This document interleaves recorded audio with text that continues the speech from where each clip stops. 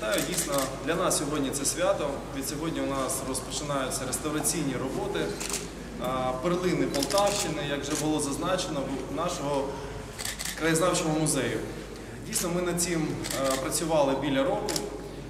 Відтоді, коли ми запросили президента України Володимира Олександровича Зеленського відвідати цей музей, е, він був спочатку вражений дійсно тими колекціями, тим виставковим матеріалом, який тут є, і ми скажімо так, спеціально показали автентичний його вигляд, який він має на сьогоднішній день. Так?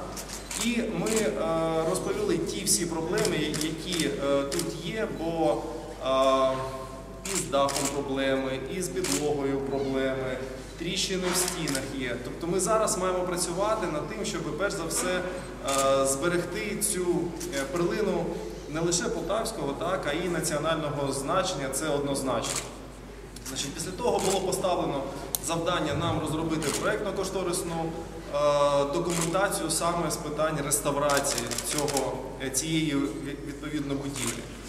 Ми мали на меті два підходи або е, дві сторони. Перше, етап це ми маємо зберегти автентичний вигляд, який є, зберегти історію, зберегти е, пам'ять дійсно, і тут мають дійсно працювати реставратори, яких, до речі, на сьогодні не така велика кількість, на жаль, в Україні навіть. Так? Тому ми е, шукали, ми працювали, ми разом робили проекти для того, щоб дійсно був у нас результат, тому що це дуже важка і така, знаєте, кропітка робота. Коли офіс президента питав, тобто терміни, коли ми зможемо завершити.